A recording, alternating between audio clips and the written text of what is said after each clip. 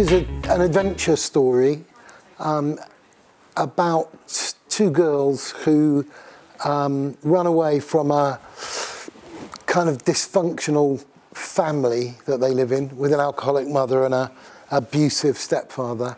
And they run away together to the woods to the wilderness and they um, survive in the wilderness while they're being chased by um, the police and social workers. And when they're in the woods, in the wilderness, they meet uh, an old woman um, and they have kind of various adventures. That's the best way. It's a, it's a sort of modern fairy tale in a way. It's like um, a bit like Hansel and Gretel. The, because it's narrated by the the the protagonist of it. When I was writing it, I could kind of hear her voice. I sort of knew what she sounded like, and um, I've taught lots of kids like her from her kind of background. And I taught in the west of Scotland for quite a long time, and um, kids in the west of Scotland, and these kids are from the west of Scotland, and kids there have a very kind of I don't know, a, a really sort of interesting way of talking and using language and naming things and various things. So I could kind of hear one of the girls and then her little sister, who, um, when her little sister came along as a character, um, I, I think I wanted to make her um, sort of the opposite of the narrator sister.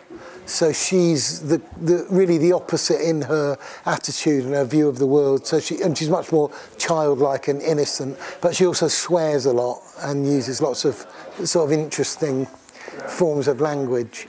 Um, but I, I, suppose I could just hear them. I could kind of hear their voices. I could imagine what they would what they would say to each other. Yeah, I mean that's part of it. I think she's a sort of she is a kind of force of nature. Yeah, she's this sort of unstoppable uh, childlike kind of innocence and wonder and, and excitement about everything. And uh, yeah, once they get into the wilderness, she, um, she, you know, I mean, yeah, she comes into her own really.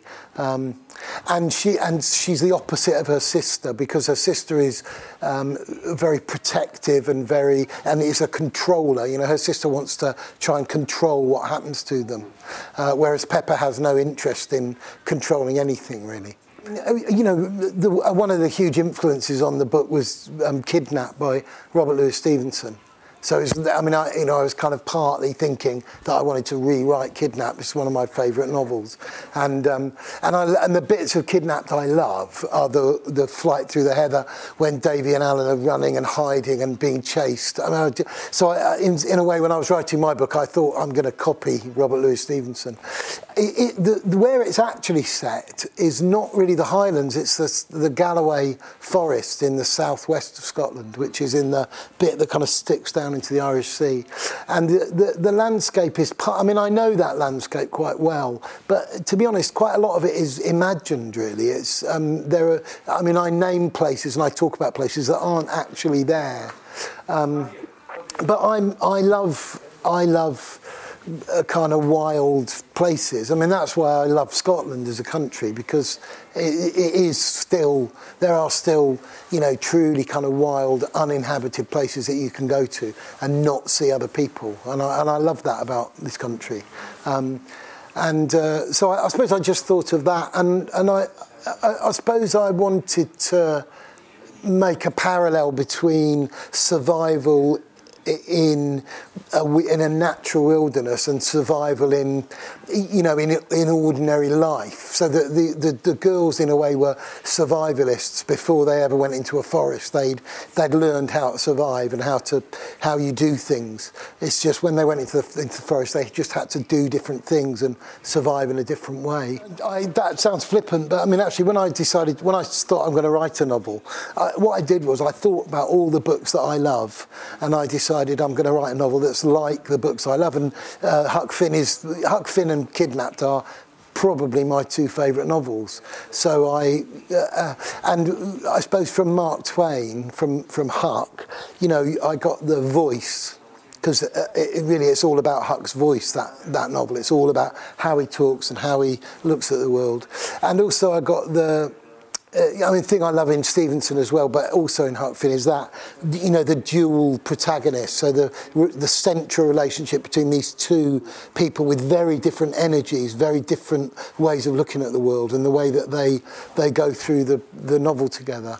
Um, and you know, and Huck is an abused child. I mean, he's an abused, abandoned, uh, horribly, horribly abused, abandoned child who who runs away and, and learns to survive and creates this really important relationship with Jim. And um, and I, I mean, I still love that novel, and I still read that novel. I still read bits of it.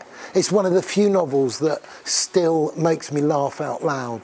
So there are bits of things that Huck says that really make me laugh. You know, I don't really feel I'm a Scottish writer in the sense that I don't really feel that I'm Scottish or or anything really. I mean, I don't have a, I don't really have a kind of sense of a, of a, a national identity, really. Um, but I've, I mean, I've lived in Scotland for a long time, and my wife's Scottish, and my children are all Scottish. Um, so, uh, and I have a great attachment to Scotland and to Scottish literature and um, and those kind of things. Um, do I think it means something to be a Scottish writer? I think, yeah, I think I do because I think there's a tradition. There's a great literary tradition here, and there's a great tradition of sort of, um, and uh, you know, yeah, writing about landscape and relationship with landscape and those kind of things. I think it might be a bit presumptuous of me to say that I'm part of that tradition. I, I don't know if I am really.